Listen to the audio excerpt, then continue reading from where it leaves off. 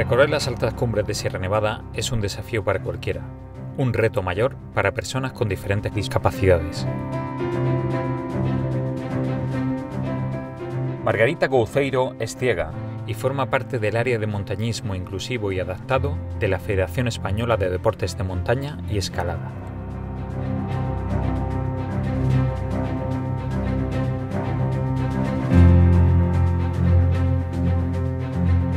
La acompañan Francisco Bueno y Paloma Cabeza, sus guías en este camino que comienza en el Alto del Chorrillo, en la localidad de Capileira. Con la ayuda de la barra direccional y de las indicaciones de Paloma y Francisco, Margarita puede vivir con plenitud la experiencia de la montaña. La ruta que los llevará hasta el refugio de Poqueira no entraña demasiada dificultad, pero las instrucciones son esenciales por la falta de indicaciones adaptadas en un entorno natural como este. Bueno, Marga, última subidita al, al refugio. ¿Tú has estado en, el- en este refugio alguna vez? No te acuerdas.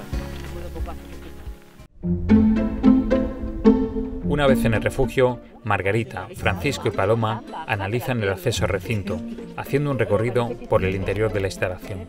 Bueno, el refugio para mí es bastante fácil, bastante amplio. Me ha sorprendido lo bien organizada que está la habitación, lo amplia. Fíjate el espacio que hay ahí.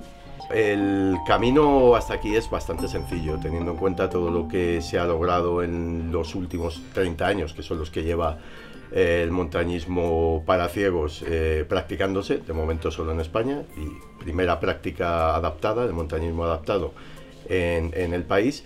Y bueno, con la barra direccional se han logrado muchas grandes cumbres internacionales, entonces este camino no tiene especial dificultad, pero igualmente hay que tener una, una formación y, y un cuidado especial para que se convierta en eso, en un, en un camino agradable y no un problema.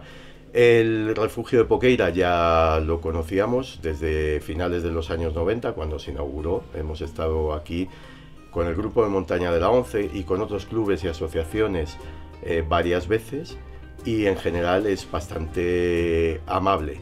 En la FEDME en los últimos años hemos apostado por eh, los jóvenes, los mayores, las mujeres y por todas las diferentes discapacidades. En este caso eh, nos encontramos aquí en el refugio de Poqueira para mm, hacer una reflexión en torno a lo que tendría que ser un refugio adaptado a, las diferentes discapacidades, fundamentalmente a la ceguera, porque los ciegos de una o de otra manera llegan hasta aquí y es curioso cómo después de un recorrido por la montaña, el lugar eh, más eh, arisco en el que se encuentran, pues puede ser un refugio.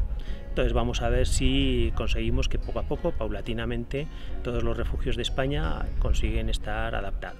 Una inclusión en la que la Federación Española de Deportes de Montaña y Escalada pone especial hincapié para que la montaña pueda ser disfrutada por todos.